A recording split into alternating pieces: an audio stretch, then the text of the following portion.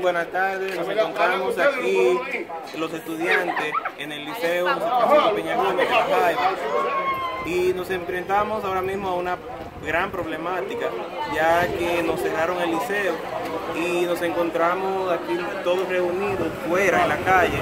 Como pueden ver, el club de orientación decidió cerrar el, el local donde reside el liceo José Francisco Peña Gómez, ya que le han puesto, pues ya que ese local fue prestado por un año y han pasado cinco años y llevamos cinco años de reclamo al, al Ministerio de Educación que no quieren aportar nada para nosotros, no nos quieren ayudar y ya estamos cansados. Ahí eh, los estudiantes estudiamos muy incómodos, el calor es insoportable, la bulla, un maestro explica una y no se puede y no, no- no- no la entendemos porque es imposible de entender.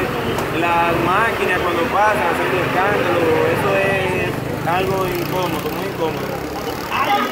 Entonces, como pueden ver, ya aquí estamos parte de los estudiantes fuera, en la calle, que estamos, no, no vamos a recibir docencia, no se sabe hasta cuándo, y esperamos que hagan algo, esperamos que nos resuelvan, porque no se va a dar clase, el liceo no se va a abrir hasta que busquen una, una, una hasta que busquen la resolución del problema. Ya ustedes saben.